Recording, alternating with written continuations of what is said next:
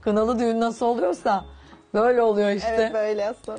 Hayır nişanla sözü bir arada duydum da kınayla düğünü ilk defa görüyorum. Uzak mesafe olunca hani gelinlik görmek isteyenler, gelinlik giydiğimi görmek isteyenler Hı hı.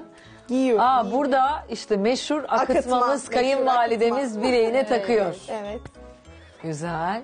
Buradaki saçınız daha güzel olmuş size göre ama sanki sözdeki aynı yer düğünde de olmuş gibi. diyecektim. Aynı organizasyon. Yok aynı organizasyon değil. Salonun kendi organizasyonu. Hani sanki Kız ne söz, kadar oldu? söz organizasyon bozulmamış, düğün Nakit yapılmış. olarak mı? Evet.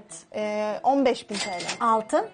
Altında yani tam tutar olarak bilmiyorum ama 3 bilezik bir de gördüğünüz kadarları vardı. Güzel. Çeyrek de eşimle benim 30 taneydi. Gelinin Peki üstünü bindallıyı ne ara giydin? Ara verdiler hemen gelin odasına gittim. Koştur koştur. Giydim tekrar kına gecesine geçtik. Hürrem Sultan gibi olmuşsunuz. Değil mi? Teşekkür ederim. Olumlu bir şey söylüyorsunuz değil mi? Derken de Hürrem Sultan çok güzel bir bayan Tamam bence. çok Oo, teşekkür Baksana ederim. Bana tahtada deseler. oturmuş. Evet. Dururum. Ah, Yanınızdaki kim? En yakın arkadaşım Türkan. Ağlıyorum orada. o- ay kıyamam. Tabii o müziklerde ağlanmaz mı? Kınayı kim yakıyor? E, halası eşimin. Ha eşinin halası. Evet. Ne koydular onlar böyle çeyrek altın? İkisini de açmadım aslanım ben. Gerçekten. Ne yaptın? İki Ne tane geldi? çeyrek.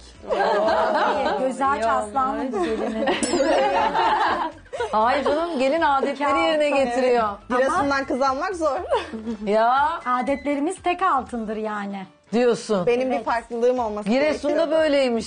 Demek Bu da Damla'nın adeti. Sen de açmasaydın elini, sen de eksini kapasaydın sen de alırdın iki altını. Yok aslanım bir altın kafi. Eşim çünkü çok taktı bana. Hala da takıyor. Bize de takıyorlar ama ben Bize de ikisini de takıyorlar. kapatmak Sıkıntı istedim. yok takmakta. İki avucunu birden açmamış. Gözü aç değil bence. Gözü açık. Bilsem ben de ikisini açmazdım. Ayağına bastınız mı? Tabii ki basmaz olur muyum? Nikah şahidiniz kimdi?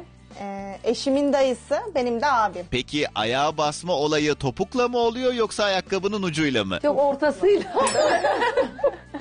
Normal basmadım. Ben topukla bastım. Ben de. Topukla mı? Ben ucuyla. Ay nasıl kıydın adamı? Ben bir dakika boyunca da- Kahvede çok içmemişti zaten. Kaldırmadım sonra bir hafta boyunca ayakkabı giyemedim. Hey maşallah. Yani vazgeçmedi mi seni almaktan?